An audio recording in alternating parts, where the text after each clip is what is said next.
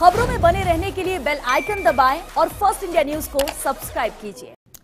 और मुख्यमंत्री आवास से बड़ी खबर आई है। जयपुर के विधायकों ने मुख्यमंत्री से मुलाकात की है। बिजली के बिल माफ़ करने की मांग विधायकों ने की है। मंत्री प्रताप सिंह, मुख्य सचेतक महेश जोशी ने यह मांग की है। रफीक खान, गंगा देवी वेद सोलंकी, लक्ष्मण मीणा ने यह मांग रखी और कहा कि गरीबों व मध्यम वर्ग को सरकार राहत दे और अब तक के बकाया को भी दो तीन किश्त में एडजस्ट कराने की मांग की गई।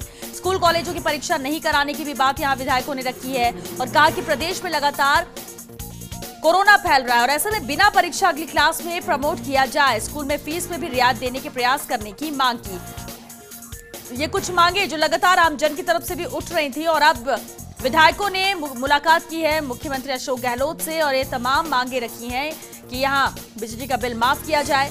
स्कूल फ़ीस में रियायत देने की प्रयास किए गए हैं। बच्चों को नेक्स्ट क्लास में प्रमोट किया जाए, क्योंकि जिस तरह से लगातार कोरोना के आंकड़े बढ़ते हुए नज़र आ रहे हैं, ऐसे में ये खतरा बच्चों के लिए भी और इसलिए स्कूल कॉलेज की परीक्षा नहीं कराने की बात विधायकों ने मुख्यमंत्री के सामने रखी।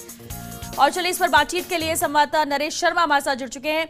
नरेश, विधायकों ने मुलाकात मुख्यमंत्री से की है। तमाम अहम बातों, बातें रखी, वो मांगे रखी जो आमजन भी कह रहा था कि वो चाह रहा है, फिर वो बिजली के बिल माफ़ करने की बात हो या फ़ीस में रियायत मिलने की बात हो। क्या कुछ रहा इस मुलाकात में और? बिल्कुल देखिए करीब 45 मिनट तक की बैठक चली है मुख्यमंत्री अशोक गहलोत के साथ। मंत्री प्रताप सिंह खाचरियावास मुख्य सचेतक महेश जोशी और जयपुर शहर के विधायक के शामिल थे और उन्होंने जनता से जुड़ी कई मुद्दों पर मुख्यमंत्री से बात की। लेकिन खास बात अगर करें तो एक तो जो बिल माफ़ी जो लगातार मांग की जा रही है बिजली के बिलों की माफ़ी को लेके वो ज़ोर तरीके से मांग की है कि खासकर जो गरीब तबका है जो बीपीएल परिवार आता है वो लोग जो बिल्कुल भी बिल चुकाने में फ़िलहाल सक्षम नहीं और मध्यम वर्गीय परिवार है।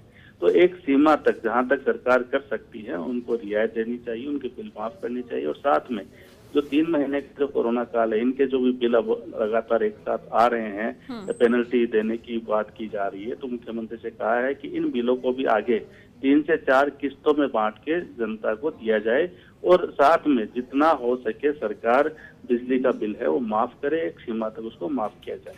और दूसरा महत्वपूर्ण बिंदु है वो ये रखा गया इसमें कि जो स्कूल और कॉलेज की जो परीक्षाएँ हो रही हैं जो सरकार ने फैसला किया है उनको लेकर उन्होंने आपत्ति जताई है और कहा है कि जिस तरह से कोरोना के मामले लगातार बढ़ रहे हैं ऐसे में इन परीक्षाओं को तुरंत स्थगित किया जाए और अगली क्लास में जो स्टूडेंट, उनको प्रमोट किया जाए। साथ में जो स्कूलों में जो फ़ीस का जो मामला चल रहा है, उसको लेके भी तमाम विधायकों ने, मुख्यमंत्री के सामने बात रखी है। उन्होंने कहा है कि स्कूल प्रबंधन से बात करके, जितना स्कूल प्रबंधन कर सकता है, अब उनकी जिस तरह की रिसोर्सेस है, उनके अनुसार तो जितनी रियायत दी जा सकती है, बच्चों को, उनके परिजनों को रियायत मिलनी चाहिए।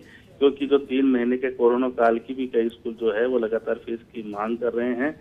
ऐसे में सरकार के स्तर पर इस बारे में फैसला होना चाहिए। तो बिजली के बिल माफ़ और स्कूल फ़ीस ये अहम मुद्दे हैं जो मुख्य शिक्षक महेश जोशी प्रताप सिंह काचरेवास रफीक खान वेद प्रकाश सोलंकी देवी और लक्ष्मण मीणा ने उठाए हैं। मुख्यमंत्री अशोक गहलोत ने उनको आश्वासन दिया है कि वो इस बारे में विभागीय अधिकारियों से चर्चा करके और इस बारे में उचित फैसला लेंगे और जो भी फैसला होगा वो जनता के हित में होगा स्टूडेंट्स के हित में होगा। चलिए बहुत शुक्रिया नरेश आपका इस पूरी जानकारी के लिए तो मांग जनता से उठ रही थी और विधायकों ने भी अब ये मांग मुख्यमंत्री के सामने रखी है क्योंकि जनहित की ये मांगे हैं, जो भी किया जा सकता है, इसे लेकर किया जाएगा। मुख्यमंत्री ने आश्वासन ज़रूर दिया है। हालाँकि पैंतालीस मिनट तक की बैठक जारी रहेगी